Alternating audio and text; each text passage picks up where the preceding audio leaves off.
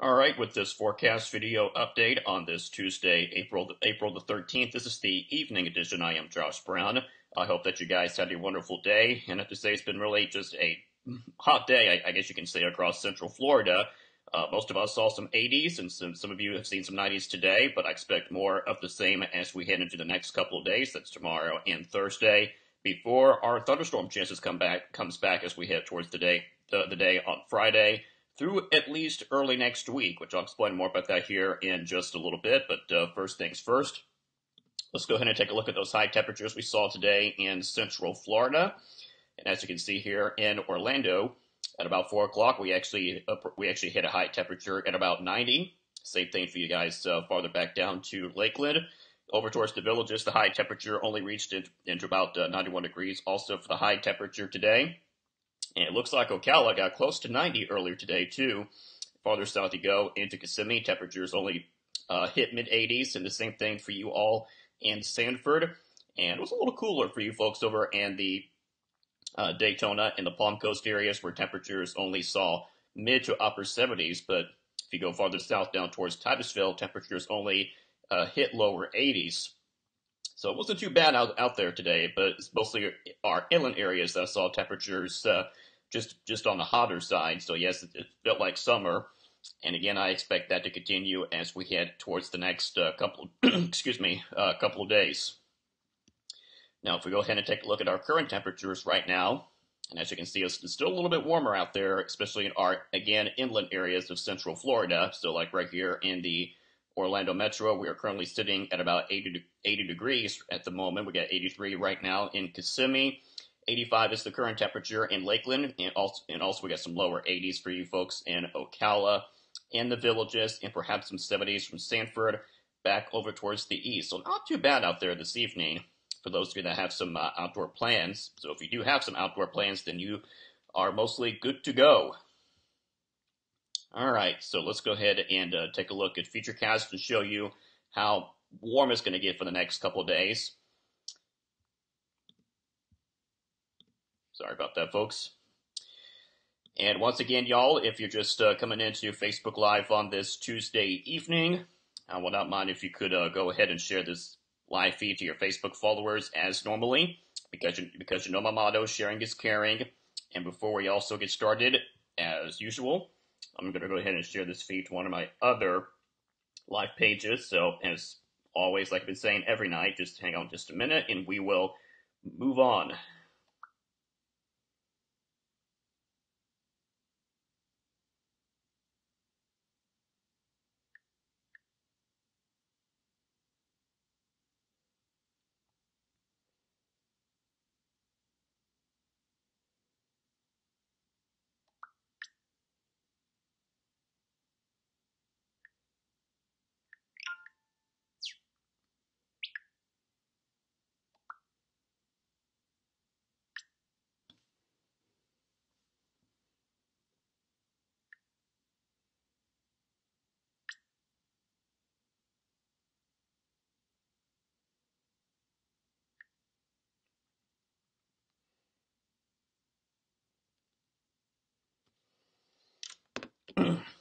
All right, here we go. All right, so as we take a look at our temperatures for the rest of tonight, once Futurecast get, uh, gets uh, loaded up in just a minute.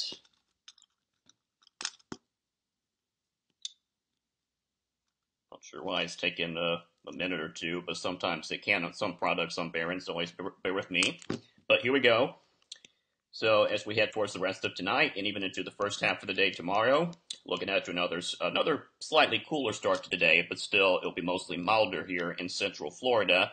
So as you wake up in the morning, it looks like we'll see temperatures start off in the low to mid 60s, and just note there could be some patchy dense fog in some places, but it's not going to be everywhere, so just keep that in mind.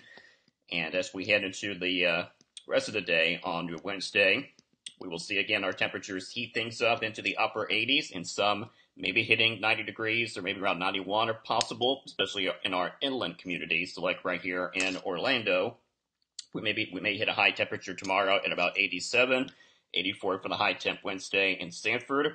Could see a high of 86 in Kissimmee, 87 for both the villages and Lakeland, and about 86 tomorrow for you for you guys over in Ocala, and perhaps upper 70s and low 80s right along I-95.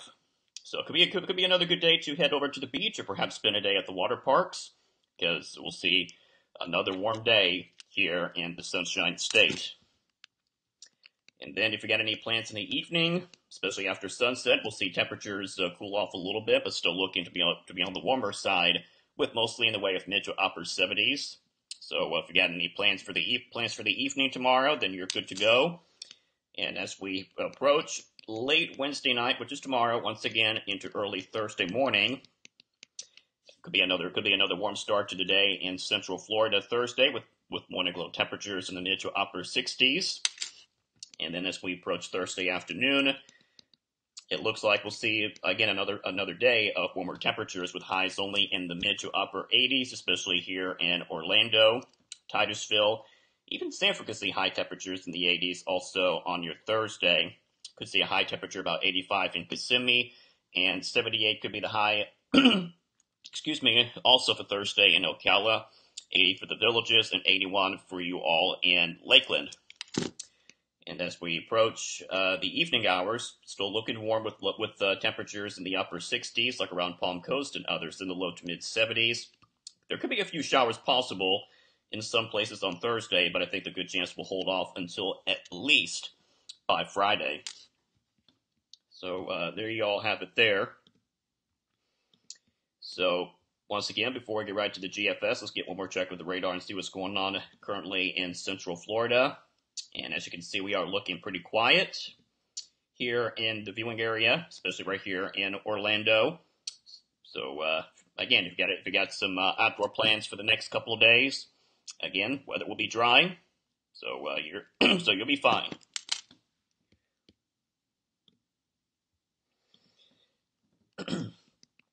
All right, so let's get into the day on your Friday and and and I believe that's today. We'll see our next chance for showers and storms to make our way back into uh, Central Florida. So for now, as we approach the 16th, we we may call for about a 40 to 50 percent coverage of some scattered af- afternoon showers and storms. And this is a good thing because th- I think we need some more rain here in Central Florida. So uh, that'll be good.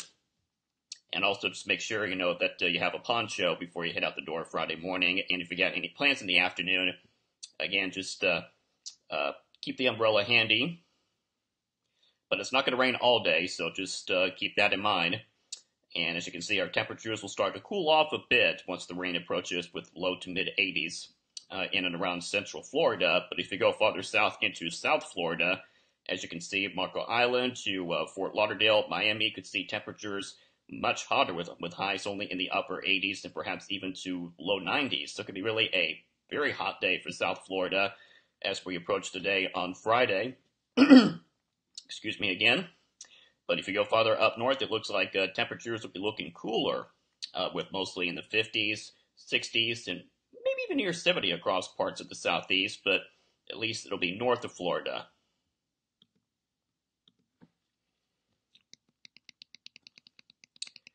So, what about Saturday? So as we head into the weekend, it looks like we'll see the rain chances uh, lower just a little bit. But we'll, so so we're going to call for about a 30% coverage of a few showers possible as we head towards Saturday. But I think most of the day should be fine. So if you got any outdoor plans on your Saturday, it should be good to go. But again, just watch out for a few showers. Right now, the heavy or the best chance, I should say, looks looks to stay north around the Mississippi Valley region, and that could be head of another cold front. We're going to be have, we're going to have to watch closely too as we look at our high temperatures for Saturday. And for us, the heat does cramp back up into central Florida. We're talking about another day of some upper 80s and low 90s. So just be careful out there while you're out in the heat if you got plans on Saturday. And of course, always always wear sunscreen too uh, if you're going to be outdoors all day that day. But the cooler temperatures are going to stay mostly north with highs in the 50s and 60s in and around the Mississippi Valley.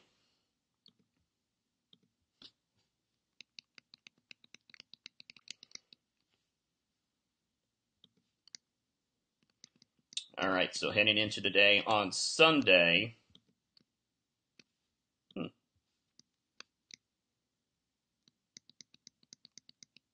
So here's Sunday. And for right now, according to the, according to the GFS, it looks like we'll see some showers possible, but it's not going to rain all day. So for the moment, according to the this model trend, the uh, the, uh, the good chance to see some showers and, and, even a few storms will stay north of Orlando. So anywhere from Flagler to uh, Volusia and Marion counties, you guys can see about a 50% coverage of some scattered showers, maybe a storm or two, as we head into the day on Sunday. And if you folks live in parts of Volusia into Seminole, uh, let's say Lake and Sumter counties, you can see about a 30% coverage of some isolated showers. But for now, uh, anywhere from Orange County south looks to stay pretty dry throughout the day. Uh, so, uh, so again, we'll still have to watch the uh, trends here as we get close to the upcoming weekend. But I think we'll still see some rain uh, in places. And, and our high temperatures below that looks to stay pretty much once again warm and humid with upper 80s to low 90s. But notice farther north you go, uh, that is the uh, next cold front that's going to be dropping uh, from the north to south. But but uh, behind it, that's going to allow more temperatures to cool uh, into the 60s and 70s across the Mississippi Valley.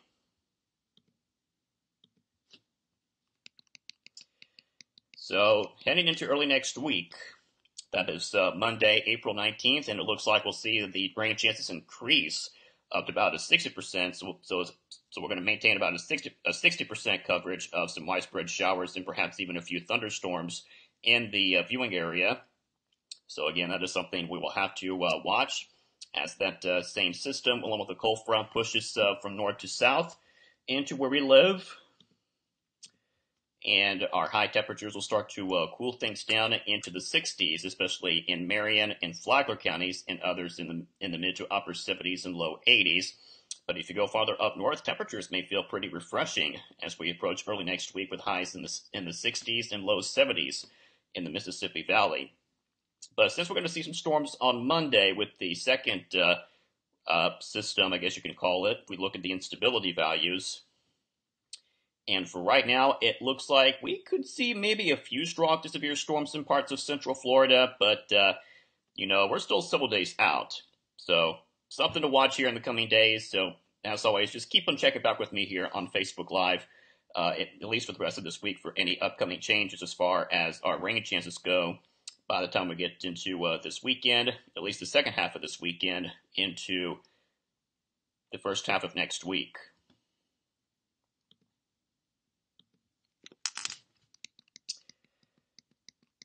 And the rain doesn't just stop. Uh, so it's not just for Monday, but it could, but it could continue as we head into a one week from today. And that is next Tuesday, April 20th. And the rain could be heavy at times in some places. As you notice in the red shaded colors, uh, basically, once you go back from Daytona Beach all the way towards Tampa, at least near the Tampa area, uh, that could uh, bring totals up to about two to four inches in the red zone. So that could produce maybe some potential flooding uh, concerns with that, uh, you know, big line of showers to storms as we get close to early next week. So, again, that's something we'll have to keep uh, our eyes out. And as far as our high temperatures go down below, and as you can see, that uh, I believe the same front will continue to uh, drive down along with the uh, heavier rain into central Florida, and that's going to still bring temperatures cooler in the 70s to near 80.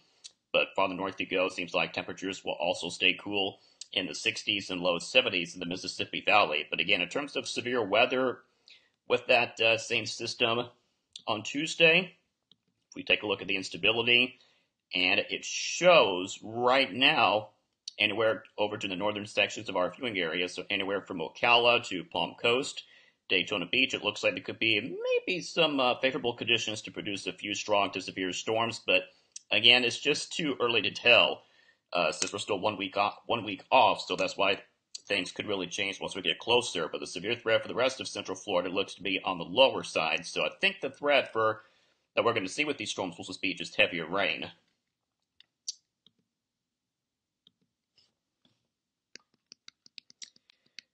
And as we get into the middle of next week, that is uh, Wednesday, April 21st, and the rain again, still doesn't stop. Still talking about another chance for showers and storms to, storms to continue right here in our viewing area. So we're talking about another uh, batch of heavy rain in some localized places. So that's something we'll still have to keep a close eye eye on in the coming uh, several days, I guess you can say. and it looks like temperatures may start to uh, warm back up at least briefly, uh, but mostly in the average uh, type uh, type. Uh, I guess you can call it with highs in the upper 70s and low 80s, so not too bad.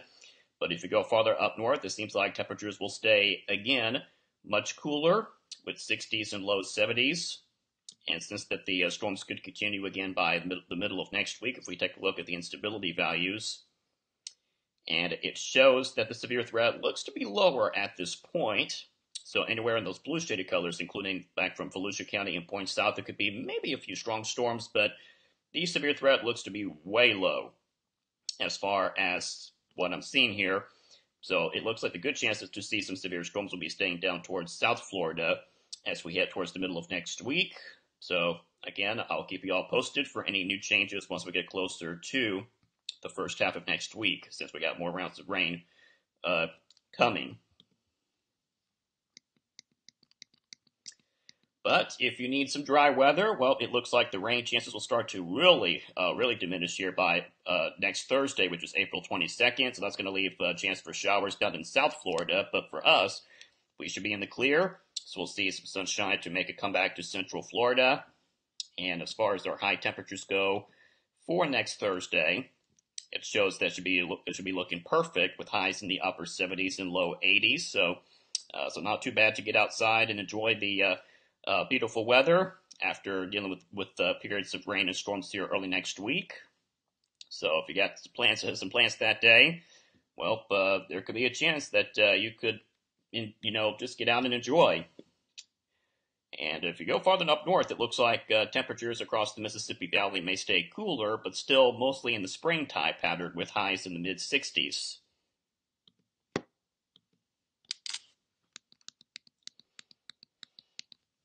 All right, uh, getting into next Friday, which is April 23rd, and again, it looks like uh, most of us should be looking pretty quiet. Could be maybe a brief coastal shower or two along the coast of Brevard County, but other than that, no big deal and uh, our high temperatures uh, down below. Uh, looks to stay refreshing with more in the way of upper 70s and even some spots in our inland communities in the lower 80s. But it's not just for here in Florida, but that could also bring some cooler spring-like, or want to say cooler, I meant to say just mostly average spring-like temperatures uh, with uh, highs in the 70s and close to 80. So not just here in Florida, but in the Mississippi Valley. So looking perfect if GF, if the GFS is correct as we head towards the end of next week.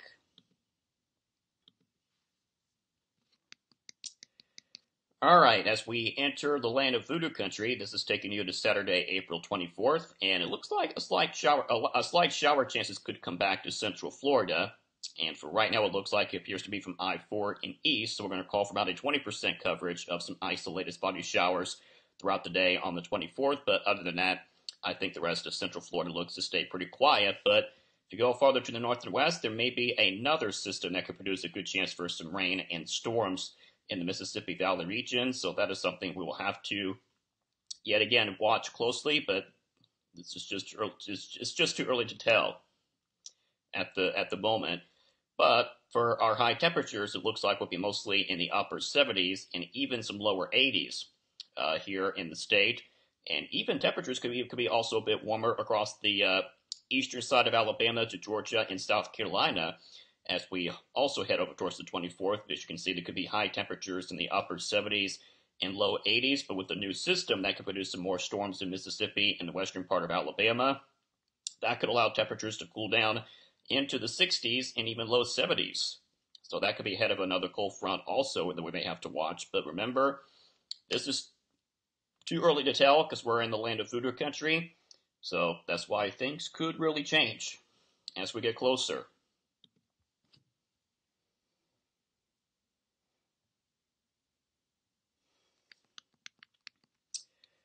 All right, uh, heading into the 25th of April, I believe that's the final Sunday for this month, and it looks like uh, we'll see the rain chances stay lower, but increasing just slightly, about up to about a 30% we'll call as we approach that day. But still, that same strong system off towards the west will continue to bring more good chances for showers and storms around the Mississippi Valley region.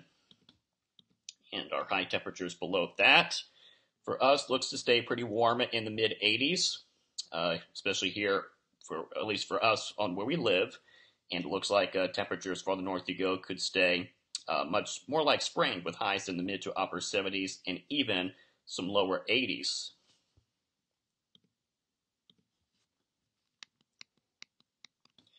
All right, so heading into the final week of April, this is Monday, April 26th, and I believe that's a system that could produce some storms across the Mississippi Valley will start to weaken and diminish.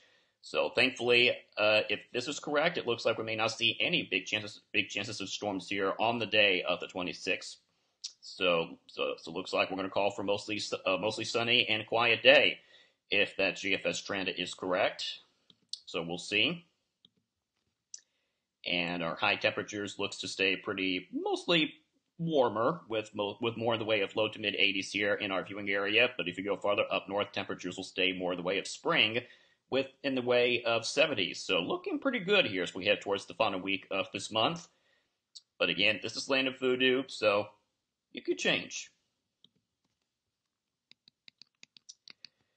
All right, heading into two weeks from today. This is Tuesday, April 27th, and it looks like the shower chances could come back in some of our coastal communities along I-95. But uh, as you can see, the rain chances looks to stay low at 20%. But the rest of us here in the viewing area looks to stay quiet with lots of sunshine and throughout the rest of the southeast. And uh, our high temperatures, once again, looks to stay, um, well, not really as warm like we could see uh, by late next week into the following, the early following part of the work week. So instead, we'll see temperatures below 80, 80 degrees on the 27th, with mostly in the 70s, and others across the Mississippi Valley with uh, with uh, upper 70s and low 80s. So not bad as far as the weather goes for, again, late late April. Okay, so heading heading heading into uh, two weeks from tomorrow, that is Wednesday, April 28th, and as you can see on the GFS, there could be some isol- isolated coastal showers possible right along I-95, but other than that, no big deal. The rest of us here in Central Florida looks to stay mostly dry and mostly sunny, especially in our inland areas, in our market. And our high temperatures again looks to stay more like spring with upper 70s and some low 80s, so looking good as we approach the middle of the following week, and others across the Mississippi Valley region will also be looking uh, average with highs in the mid 70s. And last but not least is Thursday, April 29th. And as you can see, again, there could be another batch of some isolated coastal showers making their way back into I 95, but the other areas across central Florida look to stay pretty mostly sunny. And yet again, there's there could be another storm system that could produce another good shot of some rain and thunderstorms across the Mississippi Valley. So we'll wait and see what happens then. And our high temperatures finally down below for us looks to stay pretty slightly cool in the upper 70s and low 80s. And it looks like with that system, that could produce a good chance of rain across the Mississippi Valley region. It could bring uh, temperatures, uh, you know, down cooler. So that's ahead of a cold front, I, I, I assume with uh, upper 60s and low 70s. So uh, there you go, guys. All right, gang. I'm going to go ahead and start wrapping up this uh, Facebook live feed. So hope you guys enjoy the rest of your Tuesday night. And as usual, I'll be back here tomorrow night the same time between 8 and 8.30. And I'll continue, as always, by posting more notes or updates on my blog and Facebook pages, and even Instagram too, 24-7. But in the meantime, please remember to stay safe by taking care of yourselves and each other, and God bless.